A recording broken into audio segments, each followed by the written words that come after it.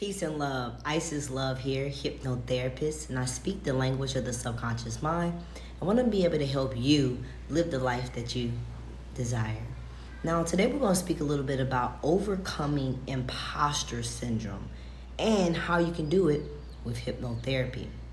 Now, what is imposter syndrome? Somebody who's going through that, right? They may experience um, no matter, despite their accomplishments, people with, you know, imposter syndrome question their talents and they fear being found out as though they are kind of like wearing a mask. Well, hypnosis can help reprogram those negative thoughts and process those thoughts and help people overcome imposter syndrome. A certified hypnotherapist like myself can help someone with imposter syndrome access their subconscious mind and find the problem. There's always a problem. You can find that problem. I can access the person's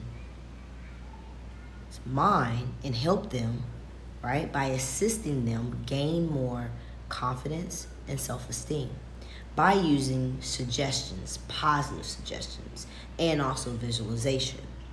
Now, hypnotherapy may boost self esteem by strengthening your true essence. You are truly dope, and you need to know that. So, under hypnosis, positive affirmations and images can help people get over imposter syndrome and develop a more positive outlook. Now, I want you guys to be sure to check the link in my bio for my website so that you can go ahead and book your call today. I look forward to helping you discover your true abilities.